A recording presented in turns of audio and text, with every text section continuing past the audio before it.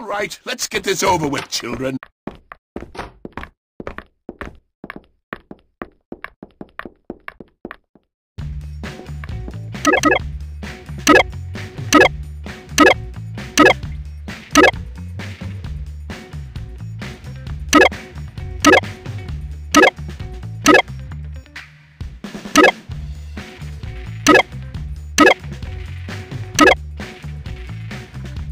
Pathetic!